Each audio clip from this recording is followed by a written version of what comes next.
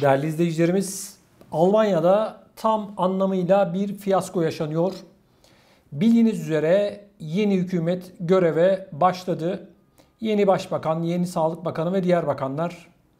Sağlık Bakanı yapmış olduğu açıklamayla Merkel dönemindeki Sağlık Bakanı'nın ve Merkel'in saklamış oldukları gerçekleri tek tek deşifre etti. Yeni Sağlık Bakanı yapmış olduğu açıklamada 2022'nin ilk çeyreğine kadar aşı kampanyasını bu aşılamayı sürdürecek kadar ellerinde aşı bulunmadığını söyledi. Bir önceki Sağlık Bakanı Jens Spahn biliyorsunuz değerli izleyicilerimiz hiçbir şekilde bu konudan bahsetmiyordu. Sadece ve sadece herkese aşı olun diyorlardı ama meğer ki ellerinde aşı falan da yokmuş. Merkel de bu gerçekleri gidene kadar demek ki ben nasıl olsa emekli olacağım diyerek saklamış. Bu açık bir şekilde anlaşılıyor. Almanya'nın yeni Federal Sağlık Bakanı yapmış olduğu bu açıklamayla Almanya'da yaşayanların aslında kaderine terk edildiğini de söylemiş oluyor.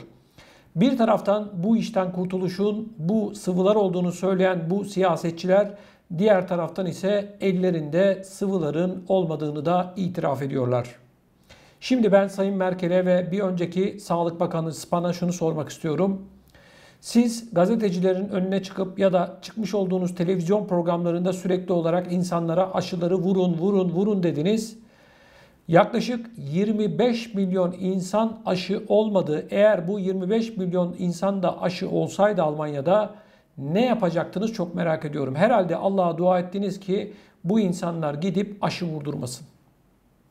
Arkadaşlar Yeni Sağlık Bakanı'nın yapmış olduğu bu açıklama gerçekten Almanya'da durumun ne kadar sıkıntılı olduğunun bir göstergesi. Zaten beni takip edenler bilir ben aylardır ne diyorum?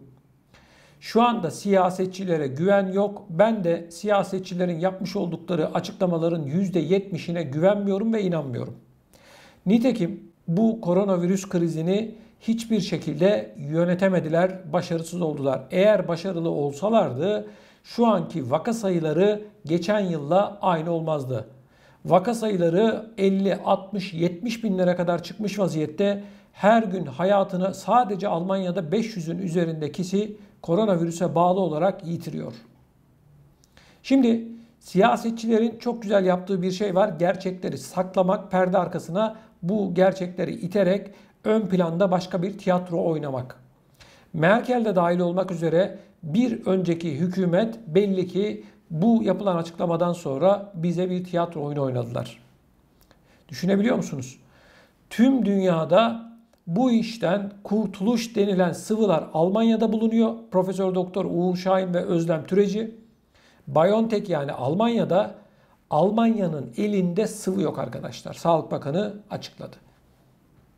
Bu ne demek biliyor musunuz? Bu aslında yani bizim Allah'a emanet olduğumuzu, bu siyasetçilerin bizlerle ilgili almış oldukları kararların hepsinin saçma sapan kararlar olduğunun da bir göstergesi.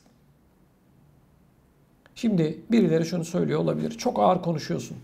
Arkadaşlar her gün 500'ün üzerinde insan ölüyorsa ve insanlar yoğun bakımlarda şu anda entübe ediliyorsa, nefes almakta zorlanıyorsa ve bu siyasetçilerin iddialarına göre de bu sıvılar insanları bu hastalıklardan, bu yoğun bakımlardan koruyorsa o zaman neden çıkıp açıklama yapmıyorsunuz, elimizde sıvı yok demiyorsunuz. Almanya'da 25 milyon kişi hala bu sıvıların hiçbir tanesini vurdurmadı.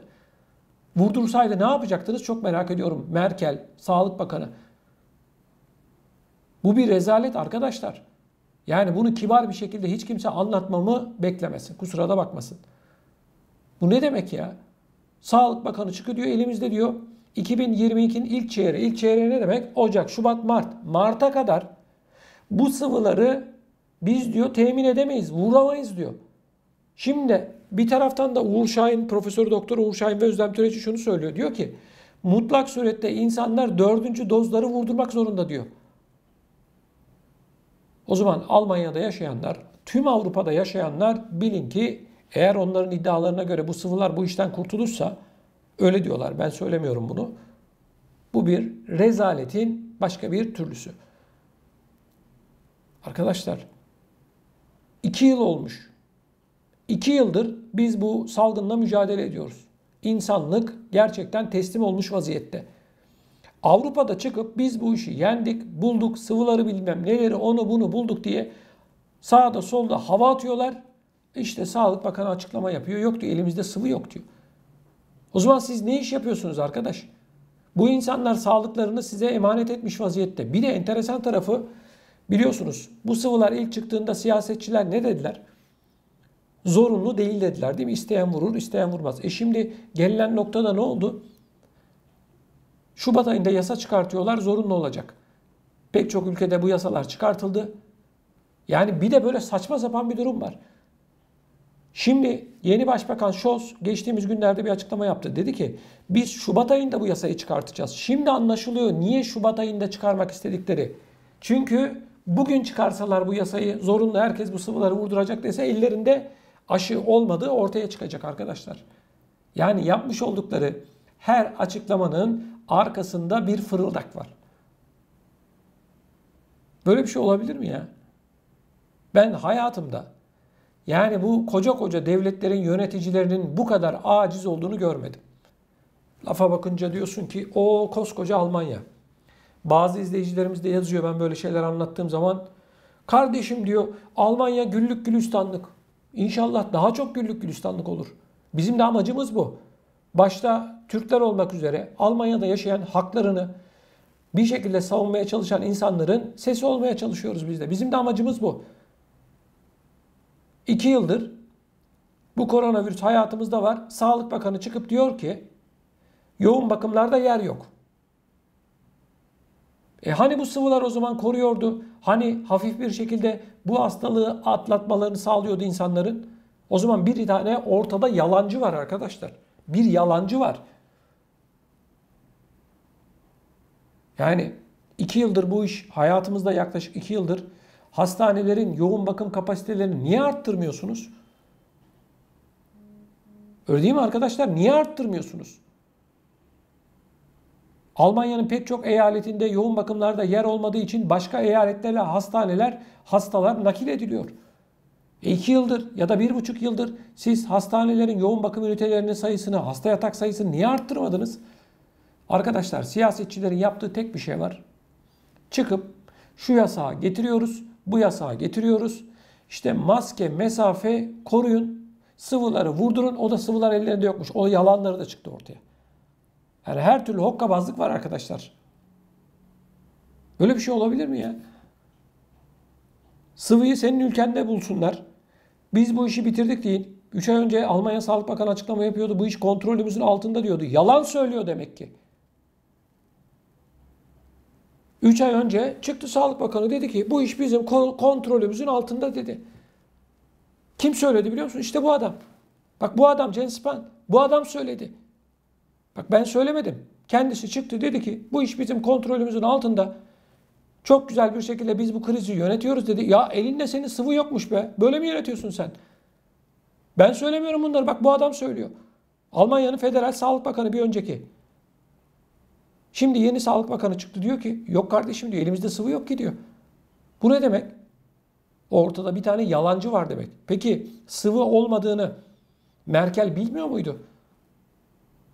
Onun önüne rapor gitmiyor muydu? Yani Sağlık Bakanı sıvının olmadığını sadece kendisi mi biliyordu? Mümkün mü böyle bir şey? Arkadaşlar bindik alamete gidiyoruz kıyamete. Bu siyasetçiler koronavirüsü ellerine, yüzlerine, gözlerine bulaştırdılar. Milleti de perişan ettiler. İnsanlar hastane köşelerinde, insanlar evlerinde büyük bir sıkıntı içerisinde ekonomileri bozuldu, psikolojileri bozuldu, bozuldu, bozuldu, bozuldu. Bozulmayan bir şey yok çok şükür. Bir de bu siyasetçiler bu kadar ekonomik pahalılığa rağmen marketlerde, çarşılarda, pazarlarda gıda fiyatları en az %21 yıl önceye göre artmış. Enflasyon Almanya'da şu anda 5.2 arkadaşlar. Sosyal yardımlar sıfır. Korona tazminatı sıfır, sıfır, sıfır, sıfır. Bir de utanmadan şimdi emekliye değerli izleyicilerimiz yapacakları zammın miktarını da düşürdüler. Dediler ki biz bu parayı size veremeyeceğiz. 5.2 yapacaklardı. Şimdi 4.4'e düşürdüler arkadaşlar. Emeklerini alacaklar 2022 zammını da. Bunların yaptığı sadece bu. Başka bir şey yok.